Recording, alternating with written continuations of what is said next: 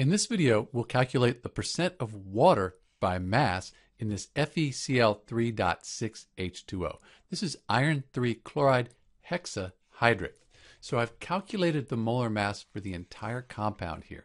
We get 270.32 grams per mole for iron 3 chloride hexahydrate. So let's use this formula and find the percent composition by mass of the water. We know that the molar mass of water here, that's 18.02 grams per mole. We're going to multiply that by the number of water molecules. There are six separate water molecules around the FeCl3. So we're going to multiply that by 6, and then we divide by the molar mass of the entire compound. That's what we found up here. We multiply that by 100, so we get a percent.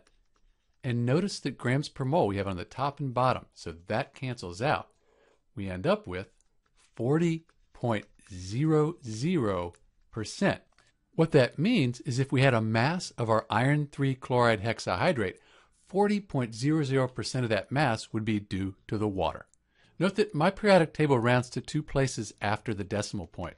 If you have a different periodic table, you might get a slightly different number out here. This is Dr. B with the molar mass for FeCl3.6H2O. Thanks for watching.